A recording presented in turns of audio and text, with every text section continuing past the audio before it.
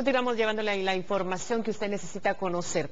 El decreto de calamidad pública promulgado por la presidencia sería ratificado mañana en la sesión plenaria en el Congreso. Eso espera el oficialismo que confía que al atender varias peticiones de la oposición dicha normativa pueda pasar.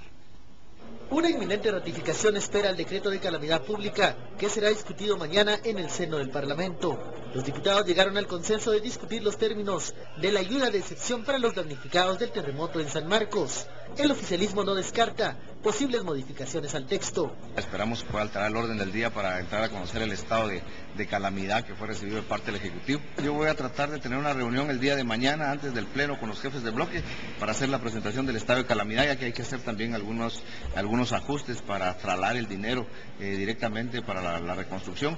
Voy a juntarme hoy en la tarde con el ministro de Finanzas Públicas y esperaría invitar al ministro de Finanzas Públicas el día de mañana para que viniera a explicarle a los jefes de bloque. Por supuesto que nosotros con el estado de calamidad lo que queremos es precisamente que sea transparente y vamos a trabajar en ese tema.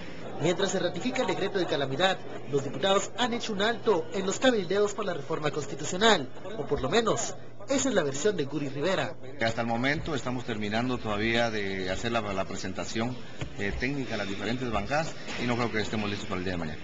En corridos parlamentarios se dice que al oficialismo aún no le salen los números para someter la votación de la reforma. Otros parlamentarios prefieren priorizar la ratificación del estado de calamidad y no desgastar al Congreso con el retraso en la ayuda a los damnificados.